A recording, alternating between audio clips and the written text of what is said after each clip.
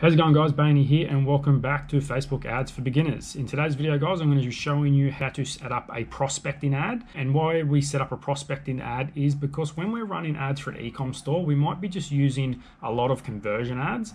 And when you use a lot of conversion ads, Facebook only shows your product to a very small portion of people because they're the only people likely to convert. So sometimes when you're doing conversion ads non-stop, Facebook will limit the amount of people your ads can see because it just doesn't really have enough data from the rest of Facebook. It's only just targeting a small group of people.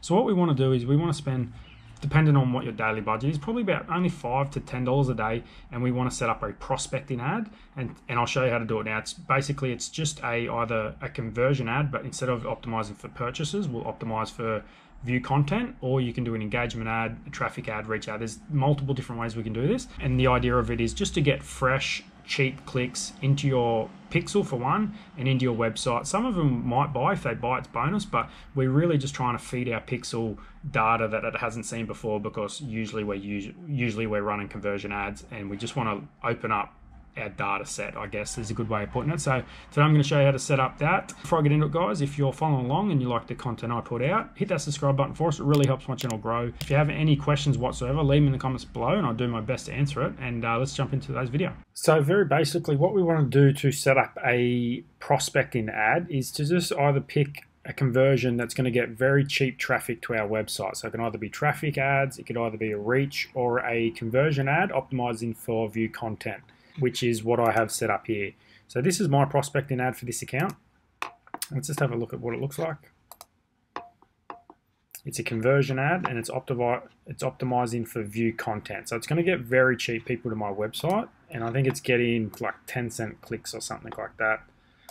Yeah, one's getting 73 cent clicks. These two are getting 10 cent clicks. So very, very cheap people to the website. I did mention earlier, not many of these people will buy, so it's a bonus if they do. What the idea of this is, is just to feed the pixel more fresh data from a wide range of people. So it's just not looking for the same people over and over again. Let's go ahead and set one up. We want to go to create. And what I'm actually going to do is I'm going to do a traffic ad. So you can either use brand awareness, reach, engagement traffic, you know, whatever's going to get you the cheapest clicks. You can obviously test it out. Conversion ad is the one I just did then, optimizing for view content. You can try that. But for the purpose of this video, I'm going to use traffic because I know it will get cheap traffic to your website. So go to continue. Just name it.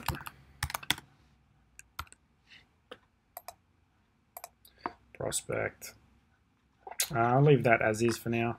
Just go over the ad set level come back here, let's copy this.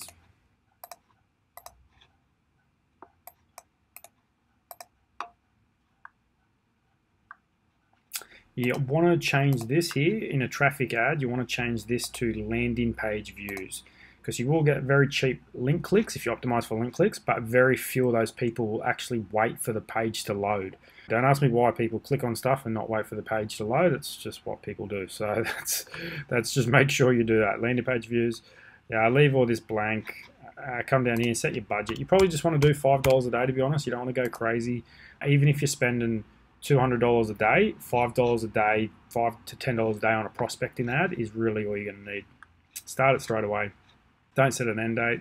Custom audiences. What you could do here is you could exclude anyone that's visited your website before or have interacted with your Facebook page. So you could, if you wanted to, you could exclude web Instagram users, Facebook users, all website visitors, you know, purchases, initiate checkouts, add to carts. These are all custom audiences you, you would have built previously if you've been following my course. So yeah, that's excluded. So you just want fresh, new people that haven't seen your ads before, haven't visited your website, and that's a good way to do it is by excluding people that have already done that. So this excludes people that have seen one of your your ads on Facebook. This excludes people that have seen one of your ads on Instagram. Like I said, if you're following my course, you would have set these up previously. If you haven't followed my course, there's a link in the description, guys. It's a full Facebook ads course for small businesses. It's completely free. Uh, all the videos are on YouTube. There's 60 something of them. Check out the link in the description. There's a whole playlist. You can just work through them one by one and learn how to run Facebook ads for, you, for yourself so you don't have to pay someone thousands of dollars a month to do it for you. That being said, let's, let's pick an audience. So this is selling candy. I just want to pick very broad audiences. Sometimes it's pretty slow. Candy, oops, chocolate, cake, chocolate cake, uh, bakery, desserts. You know, this is a prospecting ad, so you just want random, you just want engaged shoppers.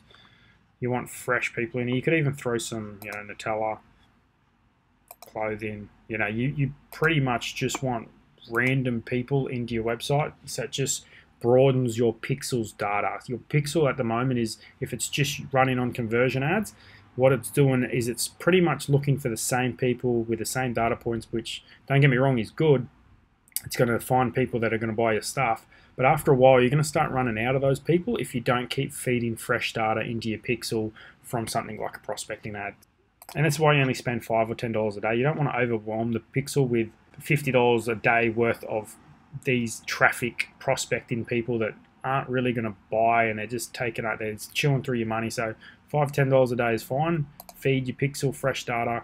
It widens its range, so it gives it more people to look for, sort of just the same set of data points. Uh, expand this, why not? This will reach even more people.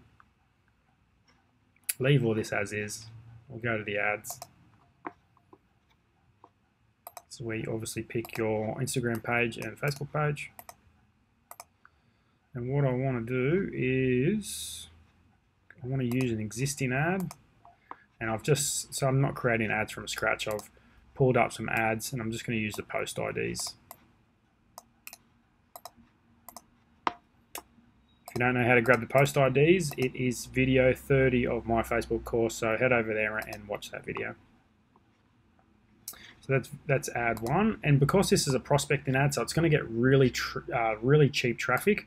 I'm probably going to get you know a thousand impressions for like two three dollars. It's really cheap. So what I can afford to do is I can just put you know three or four ads in here. So what I'll do is I'll pick another ad. So that gives my, you know, not only does it look for new people, but it gives them a few different ads to pick from. And obviously Facebook will spend more money on the ad that performs the best. You could put pretty much, if you wanted to, you could probably put 10 ads in here to be honest, because traffic will be so cheap. I'll show you how cheap it is in a second.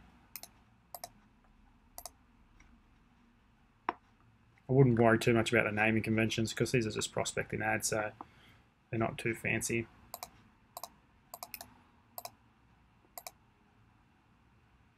Make sure your web, web events are on.